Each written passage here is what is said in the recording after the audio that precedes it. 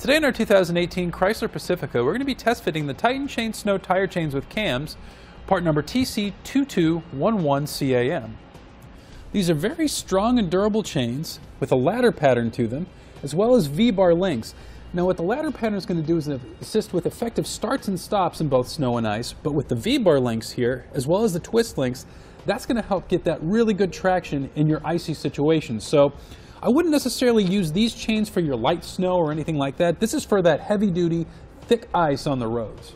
We also have these cams around the sides here, and that's to help create that tension around the tire so you don't have to purchase aftermarket rubber tensioners. You still can if you want, but they're not necessary for this setup.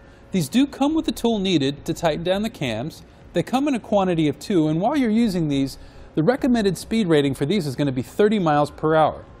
Also, when you're finished using the chains and they're cleaned off, it does come with a reusable canvas bag that you can place the chains in, put them in your vehicle, and they're going to be ready for next time.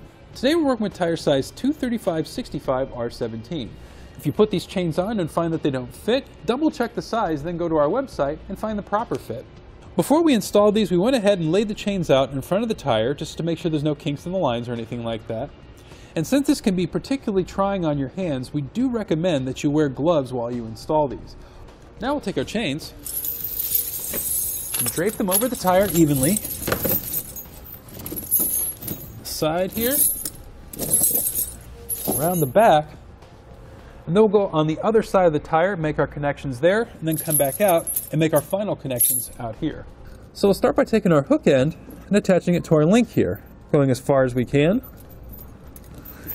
And now we can go back out to the front of the tire. So we'll take our link on the front, slide around our hook here. We'll bend this back, like so.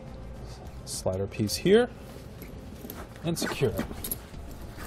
You can still see that the chains themselves are a little loose, and that's when we go around to the cams with our special tool and start tightening them down. So we have our tool here, we insert it into our cam, and then tighten it up all the way around until it's nice and secure in our tire.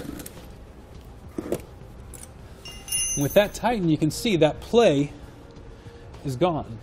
Now what I would suggest is driving a short distance, double checking the tension and make sure it's working properly, and then you're going to be good to go. And there you have it for the Titan Chain Snow tire chains with cams on our 2018 Chrysler. Thanks for watching. Click the link in our description below to shop, learn more, or visit us at eTrailer.com and leave us a comment if you have any questions.